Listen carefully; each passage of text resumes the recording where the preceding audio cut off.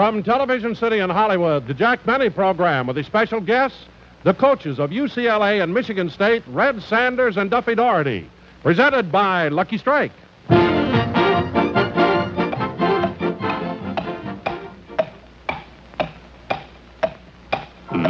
up a lucky, it's light up time. Be happy, go lucky, it's light up time. For the taste that you like, light up a lucky strike.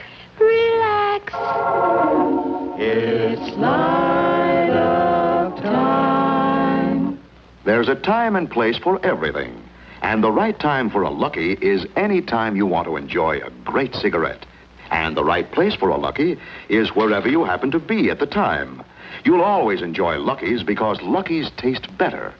Lucky Strike is made of fine, naturally good tasting tobacco that's toasted to taste better. Cleaner, fresher, smoother. And that's why Lucky's taste better every time. So make your next pack of cigarettes Lucky Strike. You'll find it's the best tasting cigarette you ever smoked.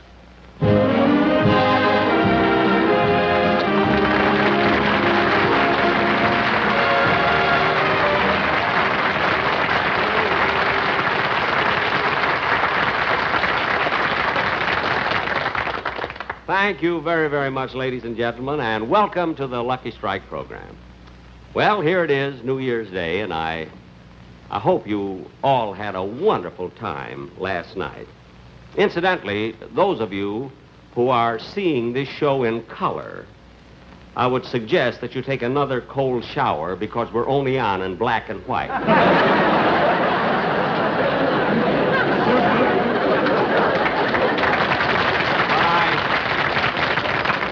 I do want to thank everybody for sending me so many kind, nice messages, wishing me good luck for the new year. And just as I walked on, they handed me a batch of telegrams from fans that I, I would like to read to you, if I, if I may.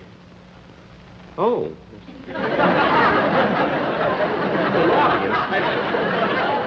Uh, here's one wire. It says, Dear Mr. Benny, Best of luck for the coming year and hope you have continued success with your show. If on any of your future programs you can use a bright new comedy team, we are available. Yours, Bulganin and Khrushchev. they, uh, they just finished two hot weeks at Loew's, Pakistan. oh, here, here's a wire from Fred Allen. It says, Dear Jack, Today the world starts a new year. When are you going to? of course, I, I, I, would expect a wire like that from Fred Allen. He's a little bit angry on account of the Christmas present I sent him. And it wasn't my fault. You see, it took the parcel post so long that uh, by the time my present got to New York, the bread was stale. I don't mean to imply that Fred isn't working, because he is. He's on every week on What's My Line. And, you know, he's trying so hard to look good. So he, I understand recently he wanted to have his face lifted, but he, I guess he thought it would take too long on account of the gravel strike.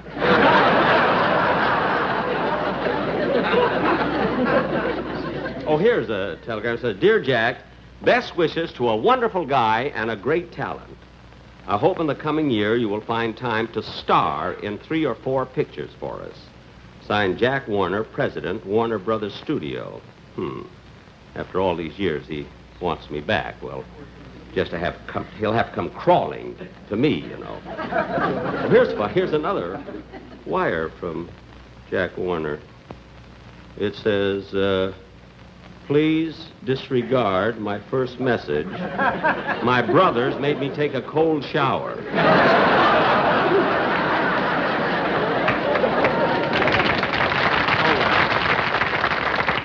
so much, uh, so much for the uh, telegrams.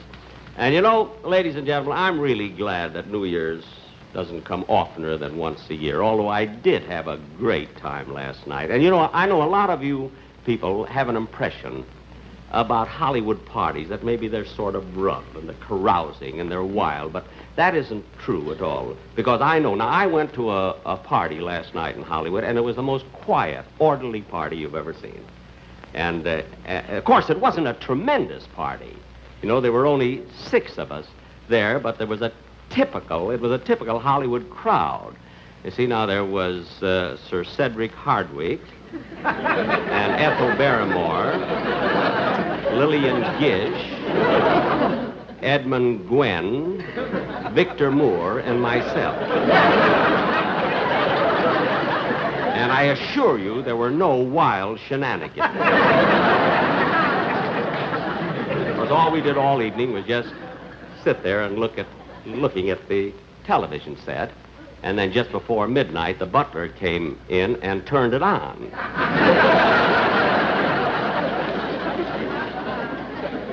the click was deafening. well, ladies and gentlemen, anyway, don't believe all these things you hear about Hollywood, you see. Ladies and gentlemen, tomorrow in Pasadena at the Rose Bowl game. What? Telegram for you, Mr. Benny. Telegram. Well, I mean, you could have waited out there. I mean, you could have given me the telegram off Uh, stage. no, I couldn't, Mr. Benny. This is a singing telegram. Oh. Oh, a singing telegram. Yes, sir. Oh, well, okay, go ahead.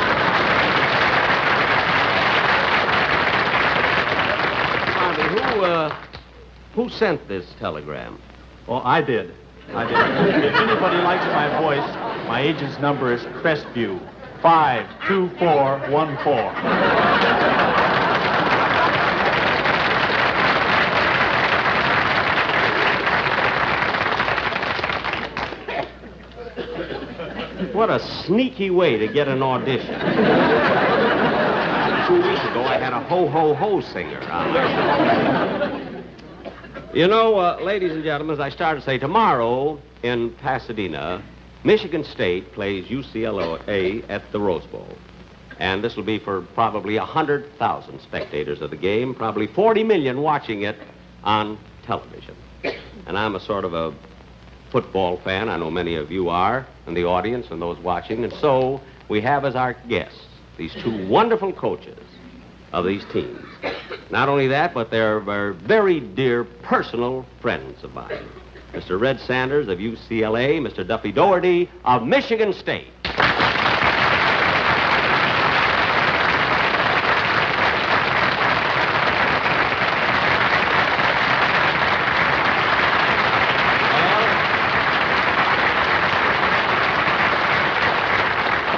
Well, fellas, it's, uh, it's certainly nice to see you again. Well, thanks, Jack. Thank you very much, Jack. Now, uh, tell me, Red. Uh, he's Red. I'm Duffy. Oh, Why, I, I didn't recognize you without your helmet. anyway, I'm certainly glad that you could make it, you see. We are too, Jack. I'm just sorry that we couldn't let you know until the last minute. Oh, well, I can understand that. You've got a big game tomorrow, you see, and you couldn't commit yourself to be on my show. Oh, it had nothing to do with the game, Jack. You didn't? No, we were waiting for a better offer from Ed Sullivan.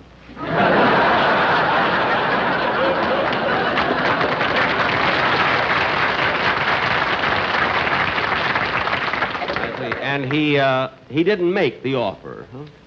No, he didn't, Jack, and I'm certain if he had, it would have been a better one. Yes, I can understand. Well, tell me, gentlemen, about your teams tomorrow. Do you feel that they're they're ready, ready for this big game tomorrow? Hmm? Well, I'll say this, Jack, that we've worked awfully hard for this one, and the boys are up, and I think that our overall team speed, speed will pose a problem for Red.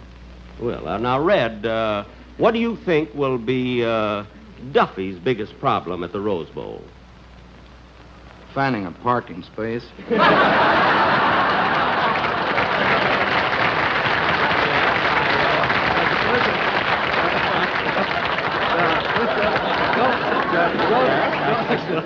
Don't let him kid you. see.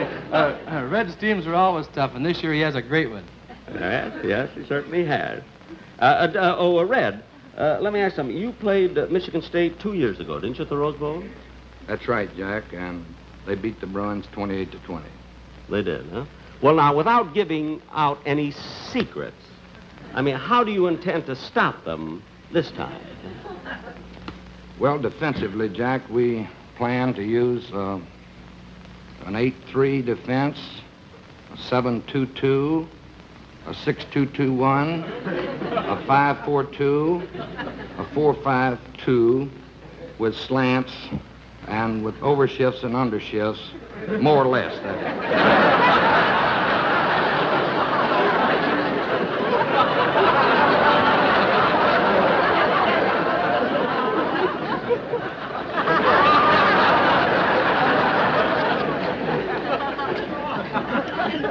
That. Well, ought to stop him. Certainly stop me. Oh, that was very simple, Jack. Do you mean that you didn't understand what Red was talking about? No, you see, football today is so complicated. Now, my day, when I used to play football, why, it was much different, much easier, you see. You played football?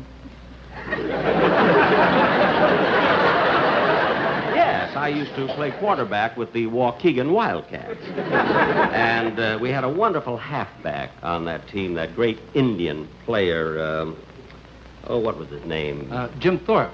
No, no. Uh, oh, Hiawatha. we used to play on the shores of Gitche Gumee. now, gentlemen, I know you want to get back to your teams, but I would like to ask you one question. I, uh, oh, I don't, I don't imagine you'd like to answer this one, though. I, Answer what, Jack? well, I wanted to ask you about predictions, making predictions about the game tomorrow, and I guess you feel rather shy about answering that one. Oh, no, on the contrary. Red and I have talked it over, and we feel it's childish to be afraid to make predictions. Oh. That's right, Jack. Uh, we're ready to go out on the limb with this one. Well, I'm very glad to hear that. Then what are your predictions for tomorrow's game? huh? Well, we predict that if Michigan State doesn't win, Then UCLA will. I see. uh, unless it turns out to be a tie. Oh. well, you certainly stuck your neck out. Thanks very, very much.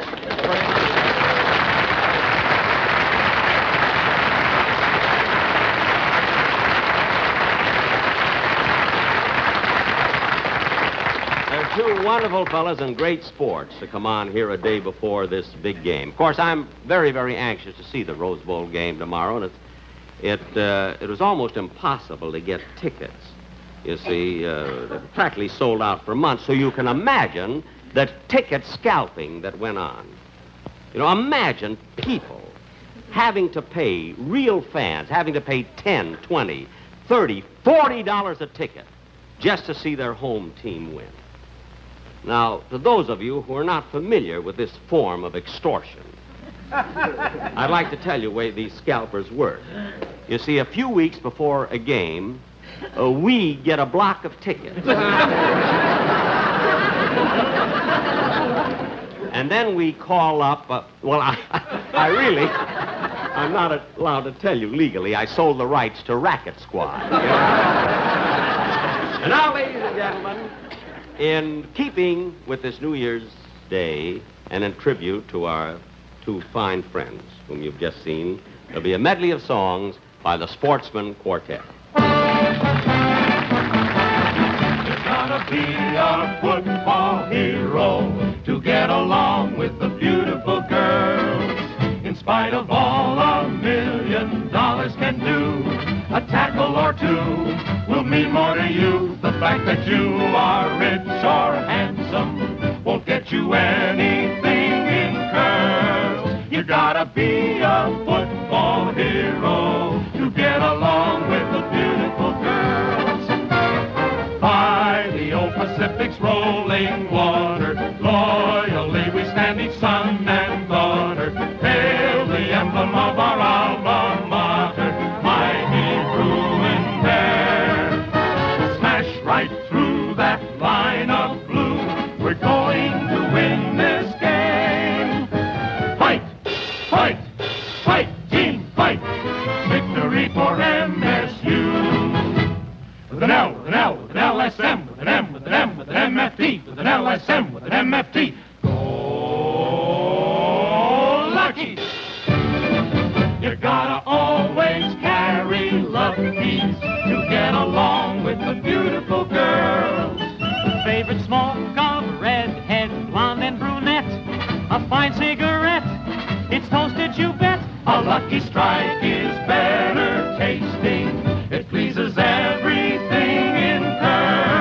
You gotta always carry Luckies to get along with the beautiful girls. You gotta LSM and tease 'em. The favorite smoke of the beautiful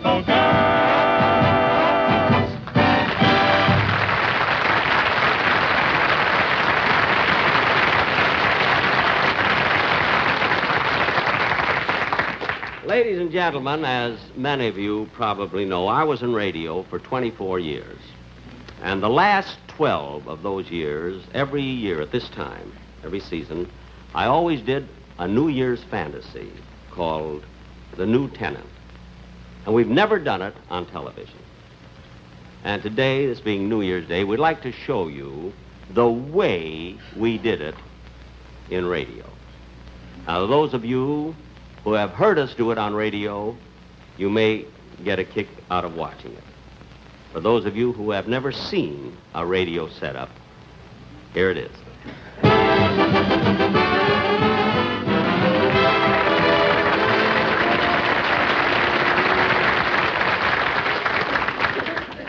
Now, Don Wilson, my announcer, who has been with me 22 of these 24 years, will play the part of Uncle Sam. Lois Corbett, who is Mrs. Don Wilson in real life, will play the part of his wife, Columbia. This is Mel Blanc, who has played so many characters on my show that always done everything. My the Maxwell, the noise of the Maxwell, and my violin teacher and the parrot. That's right, Daddy. And here's a young fella that's going to participate in the play. This is uh, uh, little Charles um, Herbert. Little Charles Herbert. Just take a little bow, Charlie. That's it. And um, this gentleman here will. Wait a minute. I. I don't remember you at rehearsal. Uh, what do you do on this show? Nothing. What are you doing sitting up here on this stage? Couldn't get a seat in the audience.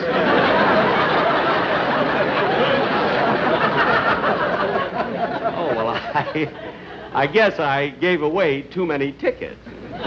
What do you mean, gay? Look, just sit there and be quiet. You can watch the show. Now. Oh, and by the way, ladies and gentlemen, this is uh, Mr. Gene Twombly, who has been my sound man for many, many years. And now.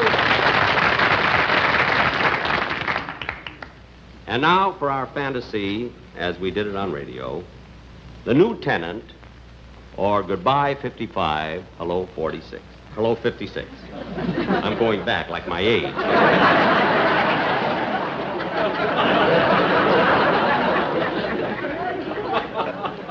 I, I will play the part of the old year, 1955. Music, please.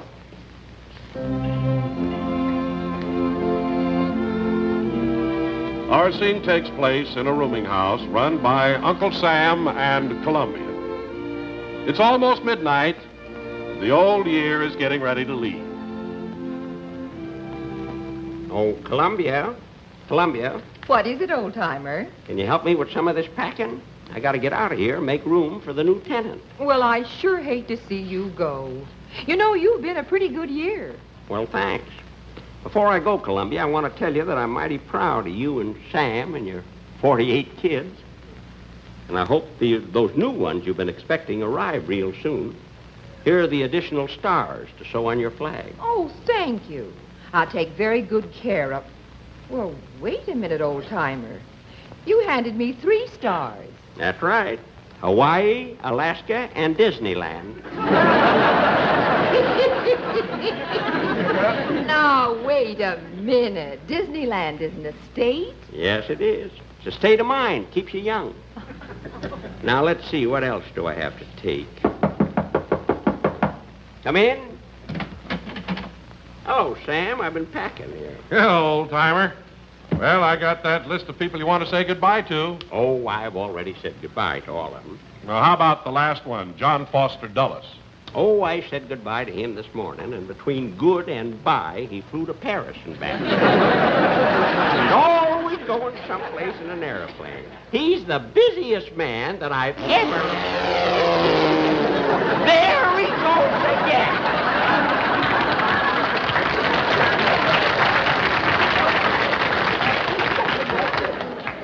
I never saw a man that traveled so. Hey, wait a minute. What's the idea of walking out in the middle of my show? I just got a shower and sobered up. and I didn't like you in color either.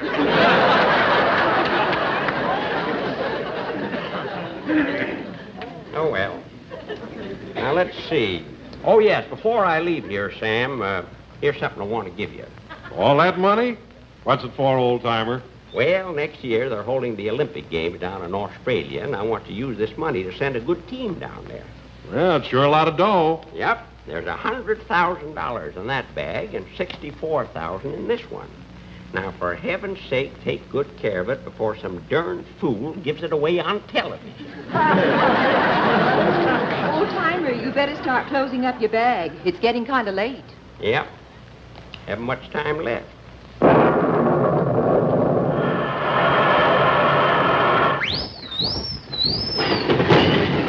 Hey, old timer, who's this character?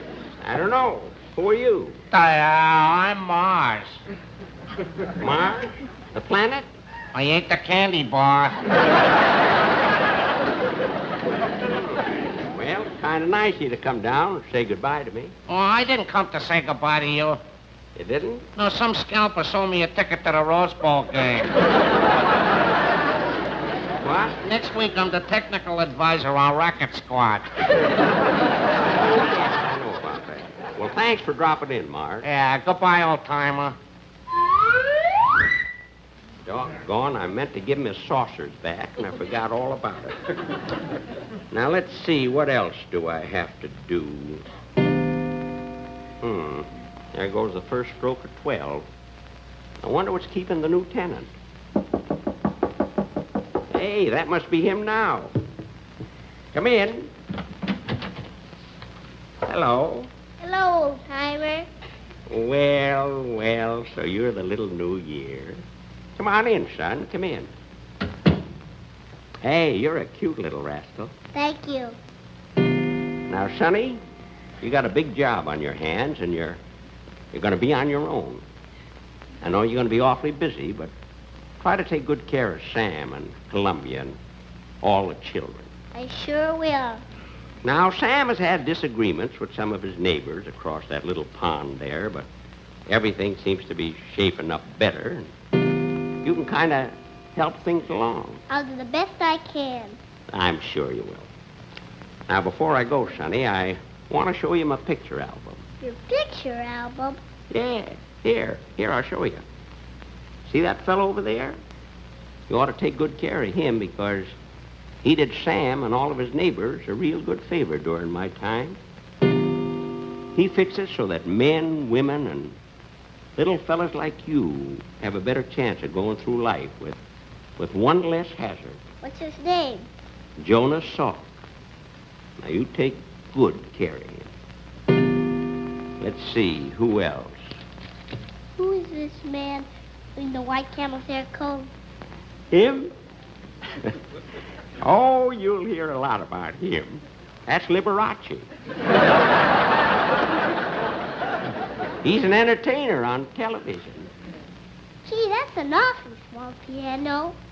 Where? That ain't no piano. You're looking at his teeth.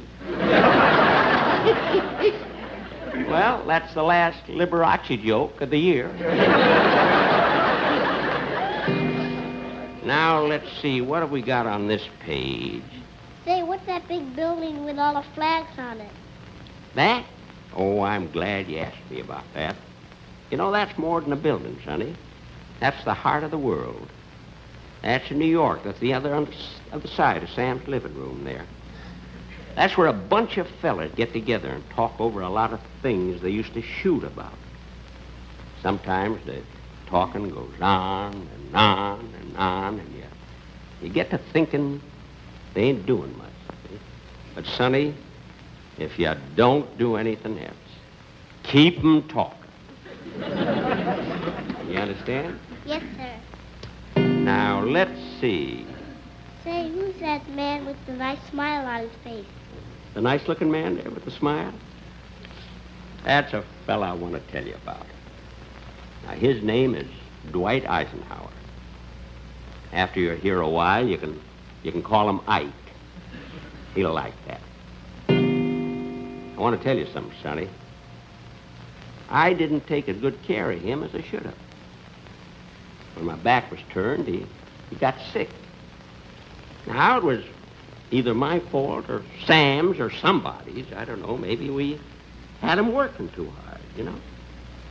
Anyway, he's getting along fine now, and I, I want you to take real good care of him. Nice. Oh, I'll watch out for him, all right. Yes, sir. You do that. In all his life, he's been taking care of Sam from the time he was a young fella right straight on through to now. And Sonny, come here.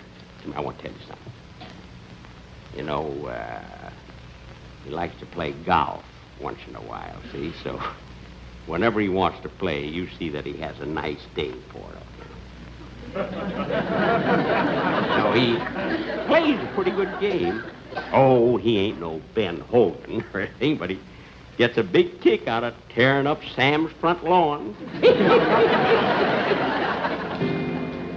well, it's just about time now. So, Sonny, remember all these things I told you. Now, a lot of other things you'll have to learn about just the same as I did. New ideas, new problems, a few headaches, but you'll work them out. Well, sir, I gotta be going. So long, Sonny. Bye, old timer. Goodbye, Columbia. So long, Sam. Goodbye, old timer. So long, everybody. Keep smiling.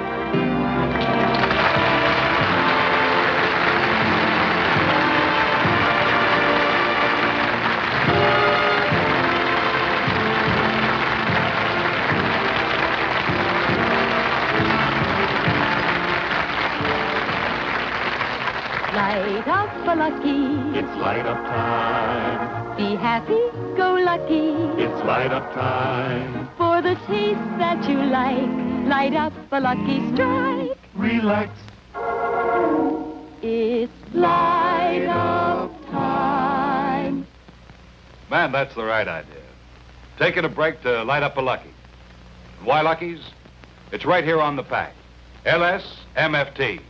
Lucky Strike means fine tobacco. Naturally good tasting tobacco that's toasted to taste even better. Light up a Lucky right now. It's light up time. For the taste that you like, light up a lucky strike. Right now. Light up a lucky.